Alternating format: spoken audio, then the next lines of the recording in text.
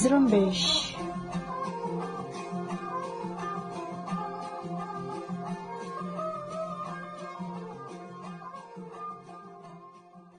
हफ़्ता 15 अगस्त साल 2020 की न्यूज़ बुलेटिन के साथ मैं हूँ आपका मेजबान हुमेरा बलोच आप सुन रहे हैं रेडियो जुम्बिश उर्दू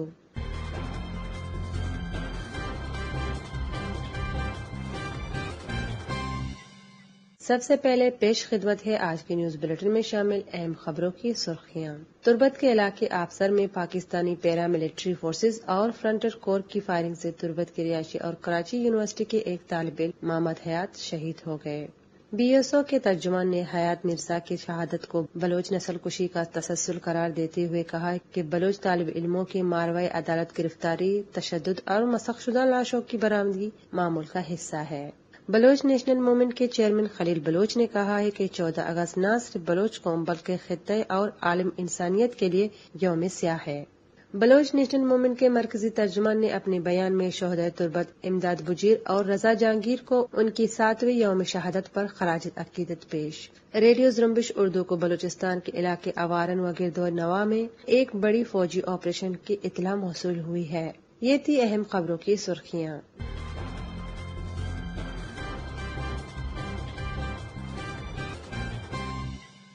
आइए अब बलूचिस्तान से मुतल खबरें सारिन बलोच से सुनते हैं।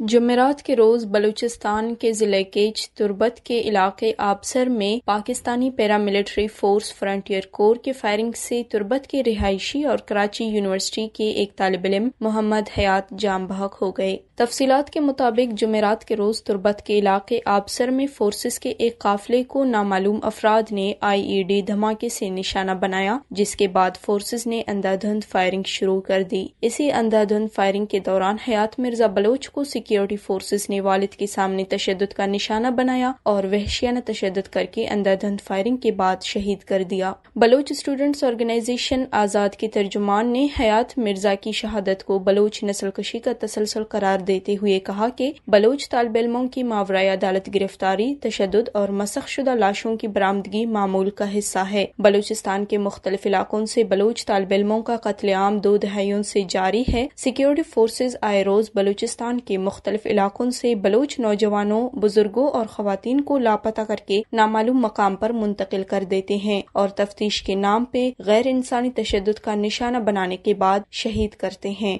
तर्जुमान ने मजीद कहा कि हयात मिर्ज़ा बलोच पहले तालब इलम नहीं जो सिक्योरिटी फोर्सेस की फायरिंग से शहीद हुए, बल्कि इस वाक़े से कबल भी मुतद तालब इलम सिक्योरिटी फोर्सेस की फायरिंग से शहीद हुए हैं। दो मार्च 2010 को खुजदार यूनिवर्सिटी में शहीद जुनेद बलोच और शहीद सिकंदर बलोच की शहादत में सिक्योरिटी इदारे मुलविस हैं। इलाका जरा से मिलने वाली इतलात के मुताबिक गुजशत शब पाकिस्तानी फौज ने अवरंग के गिरद नवाई इलाकों तिरतेज, होरी, बजदाद, सरमालार चीरी मालार गेशकुर और दीगर छोटे देहातों की मुकम्मल नाकाबंदी कर दी है और इन इलाकों के दाखिली और खारजी रास्तों को मुकम्मल तौर पर बंद करके फौजी दस्ते इलाकों में फैल चुके हैं। फौज ने मुहासरे में लिए गए मजकूरा इलाकों के तमाम लोगों की गाड़ियों को कब्जे में लिया है और आवाम को घरों में महसूर कर दिया है। जिससे एक बड़े पैमाने पर ऑपरेशन की तैयारी की जा रही है। बलोच नेशनल मूवमेंट के चेयरमैन खलील बलोच ने कहा, चौदह अगस्त न सिर्फ़ बलोच कौम, बल्कि खत्े और आलम इंसानियत के लिए योम स्याह है। बिलाशुबा पाकिस्तान न सिर्फ़ बलोच, सिंधी और पख्तूनों के लिए एक मुसलसल अजाब है, बल्कि खत्े और आलम इंसानियत इसी आग में जल रही है। चेयरमैन खलील बलोच ने कहा, बरतानवी साम्राज्य ने अपने मुस्तबिल के मफादात और खत्े में ताकत के तोज़न की जंग के लिए हिंदुस्तान को तकसीम करने के लिए मजहबी जुनूनियत और मजहबी जज्बात भड़का कर पाकिस्तान का क्याम अमल में लाया।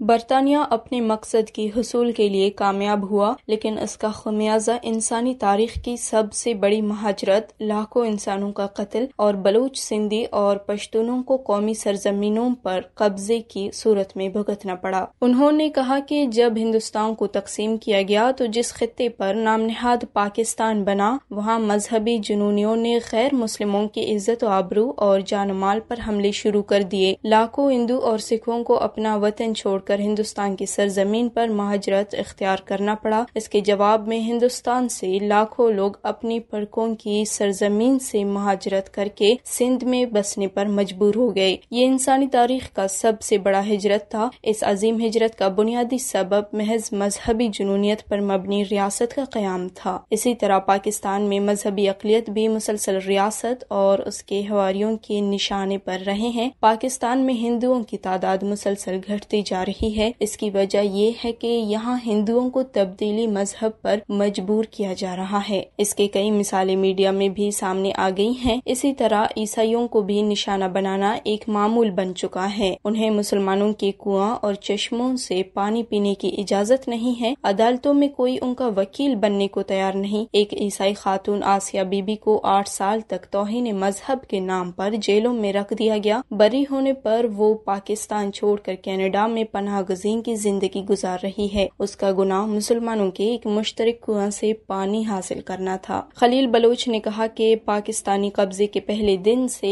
बलोच कौम ने पाकिस्तान के खिलाफ मुजाहमत का रास्ता अपनाया। मुख्तलिफ़ नशीब फराज से गुजर कर आज तक जहद आज़ादी और कुर्बानियों का सफ़र जारी है। हम समझते हैं कि ये बलोच कौम की कामयाबी है, जिसने अपने हमसाय अकवाम को बावर कराया है कि पाकिस्तान दहशत गर्दी का महवर है। पाकिस्तान की वजूद के साथ खत्े और दुनिया में अमन सलामती नामुमकिन है।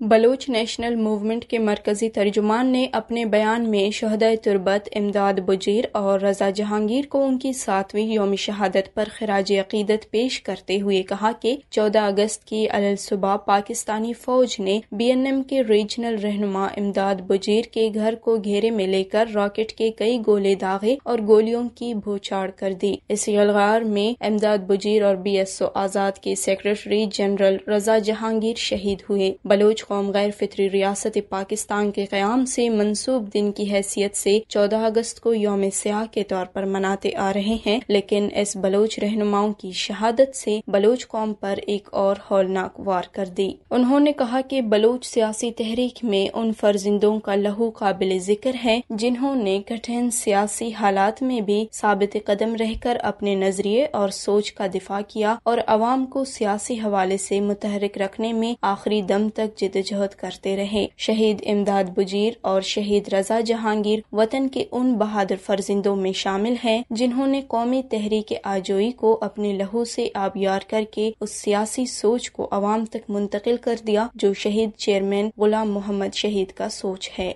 उन्होंने कहा कि बीएसओ आज़ाद के सेक्रेटरी जनरल राजा जहांगीर कम उम्री के बावजूद पुख्ता फ़िक्र और नज़रिया के मालिक थे। उन्होंने बीएसओ में अपने नजरियाती पुख्तगी से मुमताज़ मकाम हासिल की और सेक्रेटरी जनरल के अहदे पर फायज हुए। शहीद रजा जहांगीर ने बलोच तलबा को आज़ादी की जदोजहद में मुतहरिक करने के लिए मुख्तलिफ़ जहतों में काम किया। दुश्मन की बढ़ती जारहियत से खौफजदा होकर घर बैठने के बजाय हमेशा अवामी मोबालाइजेशन के अमल में मसरूफ कार रहें और तंजीमी दौरे के दौरान शहादत पाई। बलोच स्टूडेंट्स ऑर्गेनाइजेशन आज़ाद के मरकजी तर्जुमान ने तंजीम के सबक जनरल सेक्रेटरी शहीद रजा जहांगीर और बी एन एम के मेंबर इमदाद बजीर को उनकी सातवीं बरसी पर खराज तहसीम पेश करते हुए कहा कि शहीद रजा जहांगीर और इमदाद बजीर की शहादत ने बलोच कौमी तहरीक को मुश्किल हालात में तोानाई देकर नौजवानों की उम्मीद और आरज़ू को ज़िंदा रखा। बीएलएफ के तर्जुमान मेजर गोहराम बलोच ने नामालूम मकाम से मीडिया से बात करते हुए कहा कि जमेरात के रोज ज़िले केज के इलाके कोलवा, डंडार में सरमचारों ने वाटर सप्लाई में कायम आर्मी चौकी पर रॉकेटों और भारी हथियारों से हमला किया। दो रॉकेट चौकी के अंदर गिरे। उन्होंने मजीद कहा कि रात के ग्यारह बजे सरमचारों ने मस्तुंग फौजी कैंप पर रॉकेटों और भारी हथियारों से हमला किया। दोनों हमलों में पाकिस्तानी फौज को भारी जानी और माली नुकसान पहुँचाया। मेजर गोहराम बलोच ने मजीद कहा कि ये हमले मकबूजा बलूचिस्तान की आज़ादी तक जारी रहेंगे। बलूचिस्तान के ज़िले सुराब में पाकिस्तान की जश्न आज़ादी की मुनासिबत से जारी एक तकरीब पर नामालूम अफराद ने दस्ती बम से हमला किया। हमला सुरब शहर के गवर्नमेंट हाई स्कूल में जारी चौदह अगस्त के एक तकरीब पर की। दरियासना मस्तुंग शहर में दूसरे धमाके की आवाज़ सुनी गई है। तफसीलात के मुताबिक मस्तुंग में ये एक दिन में दूसरा धमाका है, जिसकी आवाज़ दूर दूर तक सुनाई दी गई। ताहम अब तक धमाके की मजीद तफसीलात मौसू नहीं हुए हैं। वाज रहे गुजशत रोज को मस्तुंग में होने वाला धमाका दस्ती बम हमले का था, जो पाकिस्तान की जश्न आज़ादी के सिलसिले में एक ऐसे दुकान पर हुआ, जहाँ पाकिस्तान के परचमों का एक स्टॉल सजाया गया था। इस धमाके में पाँच अफराद जख्मी हुए थे। इस धमाके की ज़िम्मेदारी बलोच, मजहमत तंजीम, बलोच लिब्रेशन आर्मी ने कबूल करते हुए इसे चौदह अगस्त की तकरीबात पर अपने हमलों का तसलसल करार दिया था और मजीद हमलों की धमकी दी थी। इससे कबल बी एल ए कोयटा और हब चौकी में 14 अगस्त के मुनासिबत से लगाए स्टॉल्स पर हमले कर चुकी है। यूनाइटेड बलोच आर्मी के तर्जुमान मजार बलोच ने नामालूम मकाम से मीडिया में बयान जारी करते हुए कहा कि गुजशत रोज सुबह ग्यारह बजकर चालीस मिनट पे हमारे सरमचारों ने ज़िले कोलू के इलाके काहन के करीब सोरे कहूर पे वाक़ काबिज फौज के चेक पोस्ट पे भारी और खुदकार हथियारों से उस वक्त हमला किया, जब काबिज फौज अपने नाम निहाद आज़ादी के दिन को मनाने की किसी तकरीब की तैयारी में मसरूफ था। हमले में काबिज फौज को जानी और माली नुकसान उठाना पड़ा। तीन अगस्त साल 2020 को परोन से तीन नौजवान लापता किए गए हैं, जिनमें जराये को दो के बारे में ही मुकम्मल मालूम दस्तियाब हो सके हैं। परोन से ताल्लुक रखने वाले तीन नौजवानों को एफ़ सी कैंप बुलाया गया। उनमें दो के बारे में मुसदा मालूम है कि वो काफ़ी अरसे से लापता थे और उन्हें दोबारा गिरफ्तारी से महज एक दिन पहले ईद उल अजहा की रात को बाजियाब किया गया था। लेकिन तीन अगस्त को उन्हें दोबारा ये कहकर कैंप तलब किया गया कि उनकी रिहाई के हवाले से उन्हें कुछ कागजात पर दस्तखत करने होंगे। उनमें से एक नौजवान हिरासत में भी रबते में रहे और उन्होंने अपनी गिरफ्तारी से मुतालिक आगाही दी। चार अगस्त को कैंप से ही उन्हें लापता किया गया है। अब उनमें से कोई रबते में नहीं। ताहम तीसरे नौजवान का नाम मालूम नहीं हो सका है। इन जबरी लापता नौजवानों में इकराम वलद मास्टर अहमद नईमाबाद प्रोम के रिहायशी हैं, जिन्हें 28 अगस्त साल 2017 को चितकान पंजगूर से पाकिस्तानी फोर्सेज ने अपने मकामी सहूलतकारों की मदद से अगवा के बाद लापता किया था। इन्हें चंद दिन पहले यकम अगस्त को बाजियाब किया गया था और तीन अगस्त को दोबारा एफ़ सी कैंप में तलब करके लापता किया गया। दूसरे नौजवान, जिनका नाम और पता जहीर वलद कादिर बख्श सकने परोम है, जिन्हें पहली दफ़ा 12 अप्रैल साल 2017 को लापता किया गया था और उन्हें भी यकम अगस्त साल 2020 की रात एफ़ सी हुक्म की तरफ़ से रिहा किया गया। और एक दिन बाद तीन अगस्त को दोबारा एफसी कैंप बुलाकर लापता किया गया। बलूचिस्तान के इलाके सिंजावी में ज़मीन के तनाज़े पर फायरिंग से दो अफराद हलाक हुए हैं, जिनकी शनाख्त सरदार सिकंदर शाह और अब्दुल वदूद शाह के नाम से हुई है।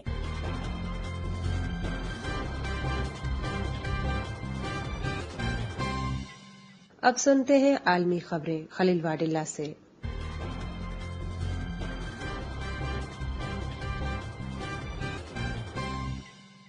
मौसूल इतलात के मुताबिक सिंधी अदीब ताज जोयो के बेटे सारंग जोयो के बाद उनके दो बांजे आसिफ जोयो और मजर जोयो को गुजशत शब गिरफ्तारी के बाद लापता किया गया है।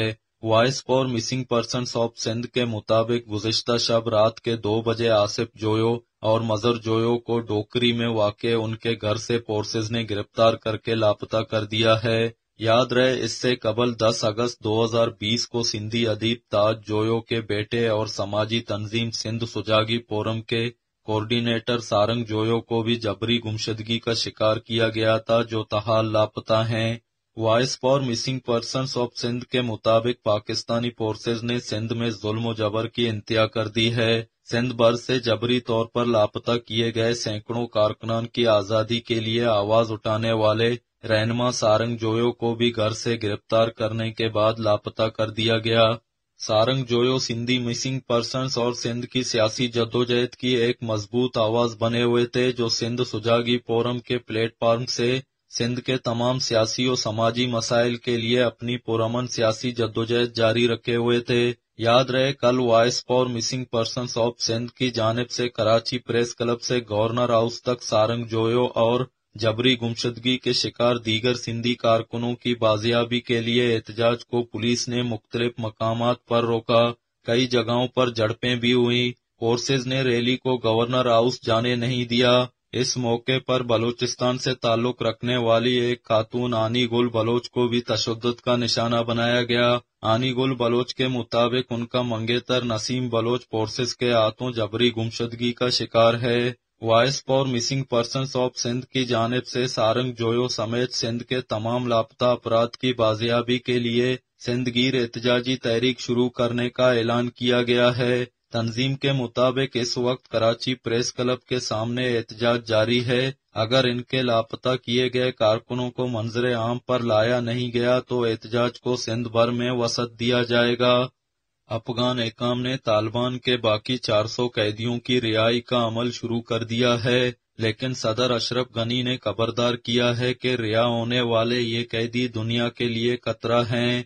अफ़गानिस्तान की कौमी सलामती कौंसिल के तर्जमान जावेद फैसल ने कहा है कि तालिबान के मजीद अस्सी कैदियों को जुमेरात को रिहा कर दिया गया है।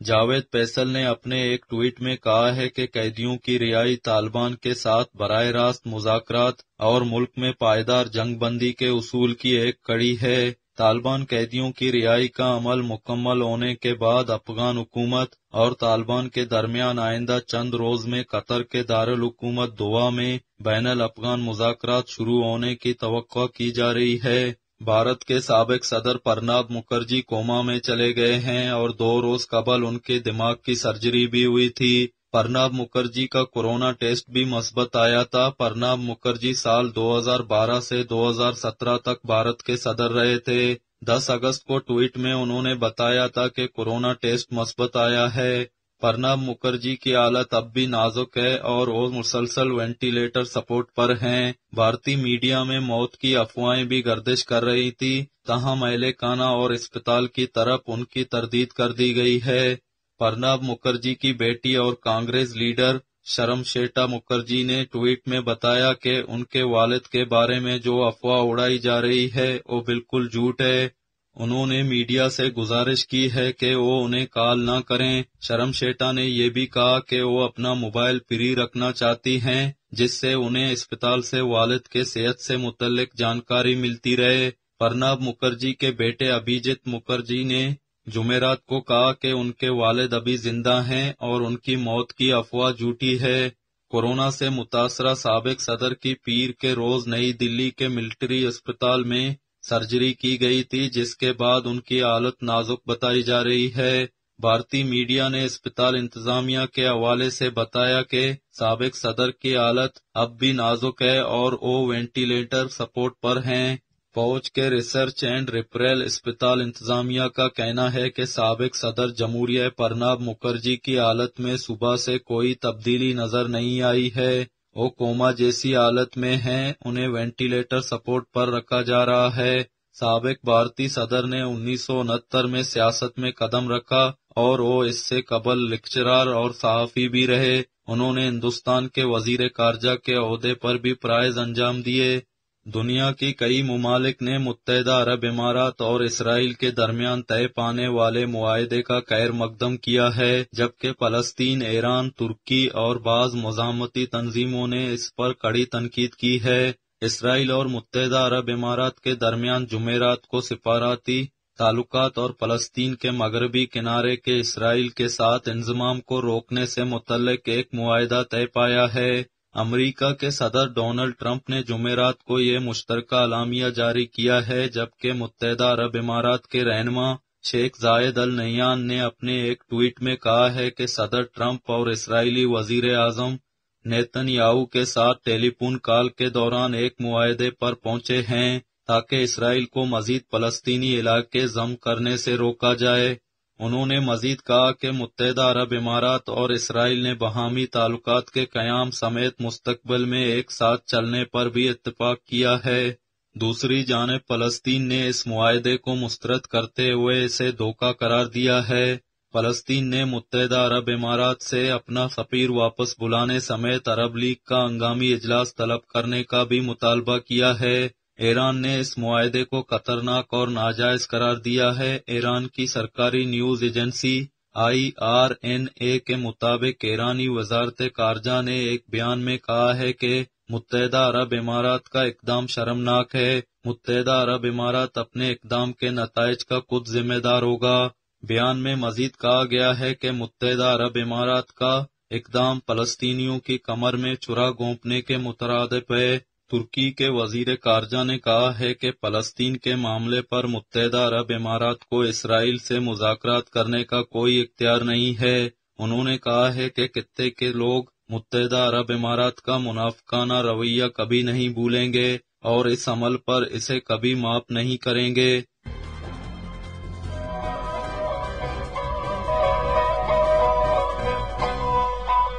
इसी के साथ ही आज के न्यूज़ बुलेटिन का अख्ताम होता है। अपने मेजबान हुमेरा बलोच को इजाज़त दीजिए और मजीद खबरों के लिए विज़िट करते रहें हमारे वेबसाइट जुरम्बिश डॉट कॉम।